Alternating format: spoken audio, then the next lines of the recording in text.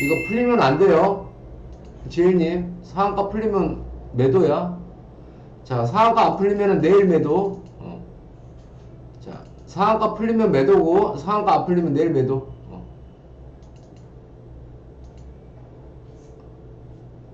알았죠? 어.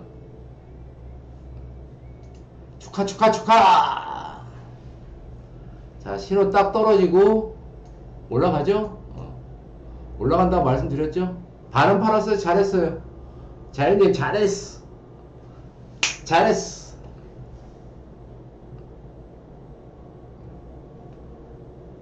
네, 축하해요. 어. 자, 풀리면 나머지 정리, 나머지 예, 예, 나머지 50%는 내일. 상한가 안 풀리면 내일. 예. 신호 나오니까 기가 막히게 가죠. 아, 축하. 제님 축하.